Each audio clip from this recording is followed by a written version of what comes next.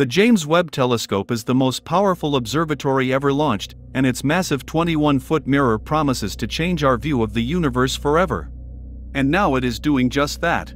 In February 2023, it made a seismic discovery which has physicists like Michio Kaku questioning whether we were wrong. Last year, the James Webb Telescope recorded the light from six ultra-distant galaxies, lying at the very edge of the universe, more than 13.5 billion light-years from Earth.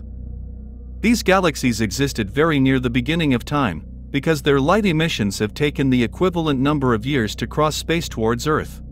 But there's something amiss, because the standard model of cosmology assumes the universe is around 13.8 billion years old, starting out small in an event known as the Big Bang. And the cosmic web of galaxies that exists today has been building from the ground up ever since, starting out with very small, torrid, gaseous galaxies, which had barely any time to form any stars. But these six galaxies, in addition to being some of the most distant and therefore earliest galaxies we've ever found, seem to be bursting with stars, with luminosities correlating to hundreds of millions, and stellar masses similar to our Milky Way galaxy. According to the standard model of cosmology, lambda CDM, these galaxies shouldn't exist. There wouldn't have been enough time for so many stars to spring up. In fact, it isn't until about a billion years into the universe's life that we start seeing galaxies of similar sizes forming elsewhere. So, what gives? Scientists are so confused, they have been calling these six galaxies the universe breakers. Several tentative explanations have been proposed.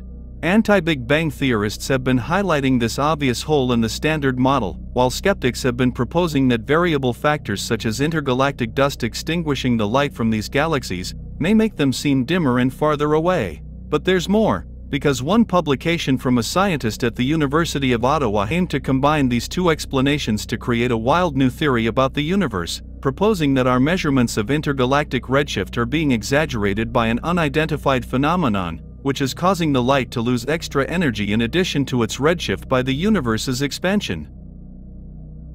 If this is the case, the paper argued that it could be exaggerating our estimates of the Hubble constant, the rate at which the universe is expanding. As such, the universe may be growing slower than expected, which would make it far older, as it would have taken longer to reach its present size. This re-evaluates the age of the universe from 13.8 billion years to around 26.7 billion years, almost double the age we once thought. This would explain the universe breaker galaxies by giving them much more time to form new stars than we originally believed. It would also explain some other irregularities we see elsewhere, such as stars which appear to be over 14 billion years old. A lot more research will need to be performed on both fronts, but a universe almost double the age we have measured from so many other sources is a big blow for science.